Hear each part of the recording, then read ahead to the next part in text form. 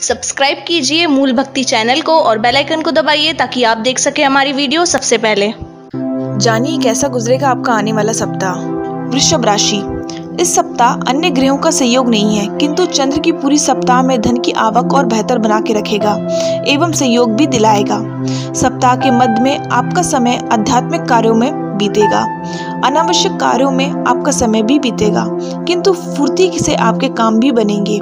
शुक्रवार एवं शनिवार को शानदार रहेगा। धन प्राप्त होगा और संतान से सहयोग भी मिलेगा।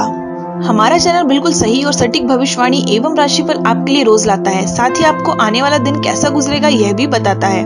साथियों, अगर आपको ये वीडियो पसंद आया है तो करके वीडियो को लाइक करें शेयर करें और हमारे चैनल मूल भक्ति को सब्सक्राइब करना ना भूलें।